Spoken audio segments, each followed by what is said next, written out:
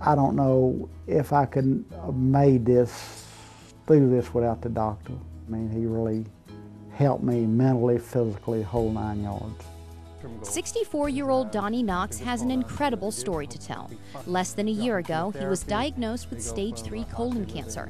But luckily, he was referred to Dr. Arie Pelta, colon and rectal surgeon at Atlanta Medical Center. So doing the colonoscopy, uh, he spotted what the problem was right off the bat. You know, it wasn't like the other doctors. I mean, he hit it right on the money. He got it done, and so I'm on the road to recovery at this point. Donnie underwent surgery seven months ago and is now only eight weeks away from the end of chemotherapy. And he knows it's all because he got diagnosed early. Actually, Dr. Pelta saved my life. You know, if it hadn't been for him, I mean, you know, I can't say enough of good praises for him, the whole staff, the hospital.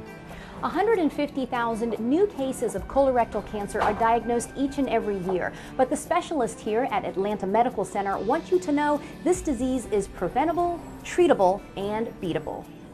The second leading cause of cancer deaths in the United States today is colon and rectal cancer. 90% of all those cases can be eradicated and prevented. Simple test of a colonoscopy can save thousands. And Dr. Pelta wants people to know that a colonoscopy isn't something to be afraid of. The procedure takes anywhere from 15 to 20 minutes. Um, they're in and out the door with a little, little over an hour.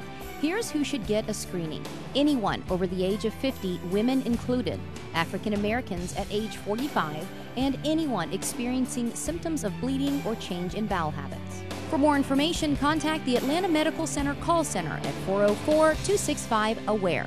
For CBS Atlanta, I'm Christine Van Blockland.